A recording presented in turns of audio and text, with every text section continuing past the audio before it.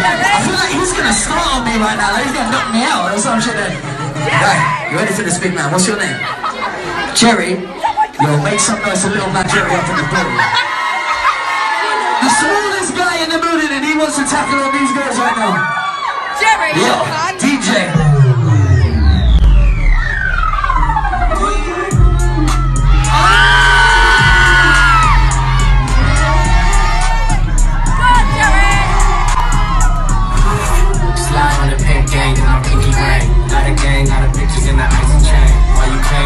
Straight